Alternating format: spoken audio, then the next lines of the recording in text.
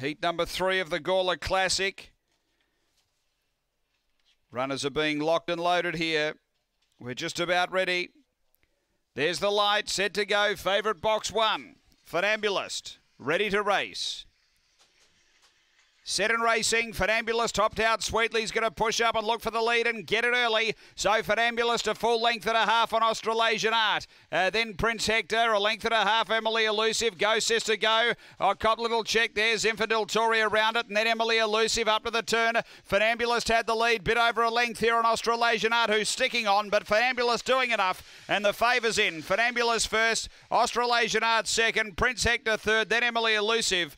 Next is Infantile Tory and Go Sister Go was back at the end. Uh, the time here is 23.07. After the running of race number three and Funambulist. Uh, it was crucial that early part of the race. She was just able to get through and hold them early.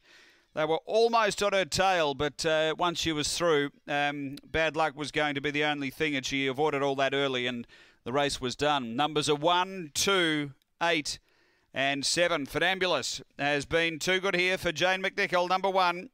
Second to two, Australasian Art uh, for Timarachi. She stuck on pretty well. And third to eight, which is Prince Hector for Bob Isaacson. It's one, two, eight, seven after race number three here at Gawler.